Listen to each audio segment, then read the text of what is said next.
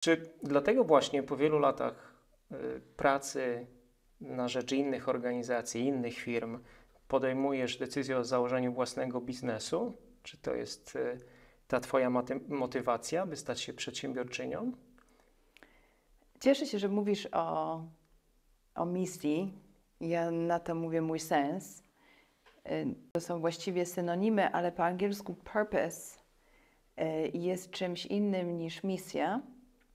Purpose jest bardziej kierunkiem, w który się płynie, a misja już jest bardziej szczegółowa.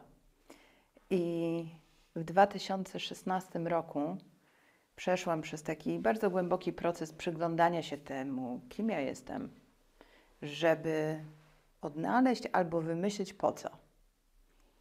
I wyszło mi wtedy. Coś Cię do tego zmotywowało w tym 2016 roku? E, Wiesz co, w ogóle nie miałam zamiaru rozwijać się programowo w żadnej instytucji.